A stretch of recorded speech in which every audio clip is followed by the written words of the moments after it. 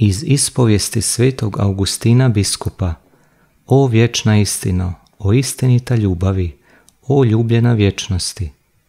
Opomenut tako da se vratim samome sebi, ušao sam pod tvojim vodstvom u svoju nutrinu. To sam mogao jer si ti postao mojim pomoćnikom. Ušao sam i vidio slabašnim okom svoje duše iznad istoga oka svoje duše, iznad svoga duha svjetlo nepromjenljivo, ne ovo obično svjetlo i vidljivo svakom tijelu, niti je ono bilo kao od iste naravi, samo veće, kao kad bi ovo svjetlo mnogo i mnogo jasnije svjetilo i sve stvari obuzelo svojom veličinom.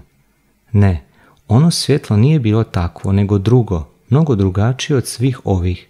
Niti je tako bilo iznad moga uma kao ulje nad vodom ili nebo nad zemljom, nego ono bijaše više, jer me ono stvorilo, a ja bijah niže, jer sam bio stvoren od njega. Tko pozna istinu, pozna to svjetlo. O vječna istino, istinita ljubavi, o ljubljena vječnosti, ti si Bog moj, tebi uzdišem danju i noću. Čim sam te upoznao, ti si me podigao k sebi da vidim kako ima nešto što bih trebao vidjeti i kako još nisam takav da bih mogao vidjeti.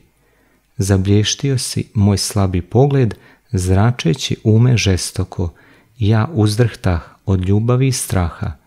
I spoznah da sam daleko od tebe u kraju, gdje je sve različno od tebe. I bilo mi je kao da čujem tvoj glas iz visine. Ja sam hrana jakih. Rasti pa ćeš me jesti. I nećeš ti mene pretvarati u sebe kao hranu svoga tijela, nego ćeš se ti promijeniti u mene.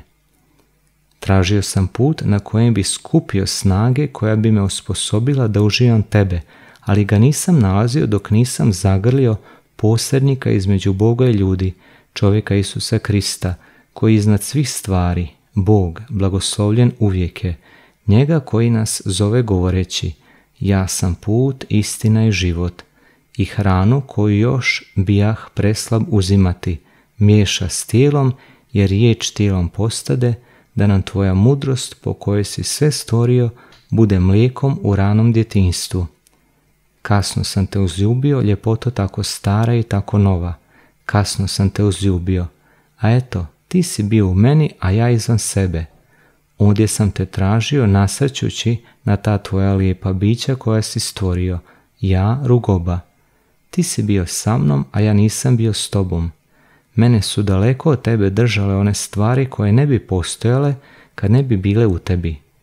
Zvao si me i vikao, probio si moju gluhoću, zabljesnuo si, sjevnuo si i rastirao moju sepoću, prosuo si mio miris, a ja sam ga upio pa uzdišem za tobom. Okusio sam ga pa gladujem i žeđam. Dotakao si me i ja gorim za mirom tvojim.